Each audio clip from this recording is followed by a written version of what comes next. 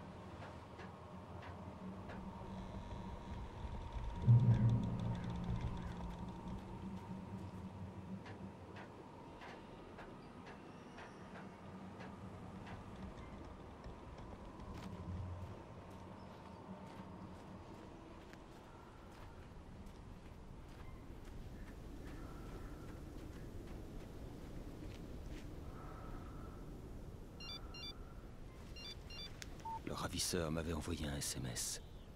Le message était bourré de fautes d'orthographe et d'insultes. Il me disait de faire vite.